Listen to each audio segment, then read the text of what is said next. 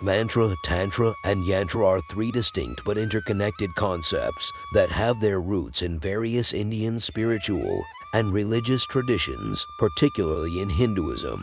They are often used as tools for meditation, spiritual growth, and achieving specific goals. Here's an overview of each concept.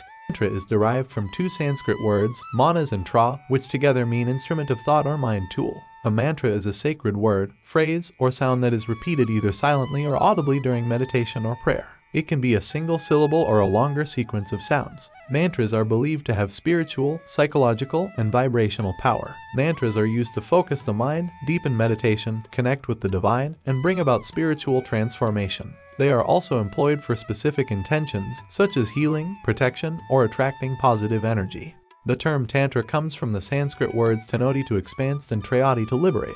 Thus, Tantra is often translated as expansion or liberation through expansion. Tantra is a diverse and complex system of spiritual practices and rituals that encompass various aspects of life, including philosophy, meditation, yoga, and sexuality. It aims to expand one's consciousness and achieve spiritual enlightenment.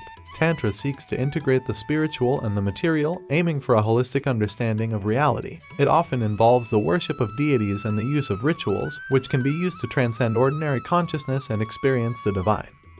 The term yantra is derived from the Sanskrit word yam to sustain and tra instrument, meaning instrument of support or machine. A yantra is a geometric design or diagram that represents the energy or essence of a deity, concept, or specific intention.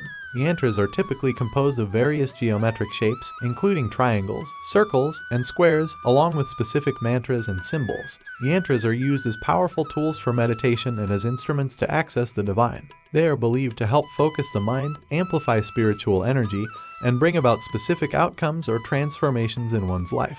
Yantras are often found in temples and are used in various rituals. In summary, mantras are sacred sounds or words used for meditation and spiritual purposes. Tantra is a diverse system of spiritual practices seeking spiritual expansion, and yantras are geometric diagrams used as tools for meditation and to access spiritual energies. These concepts are deeply intertwined and are part of the rich tapestry of spiritual and religious practices in India.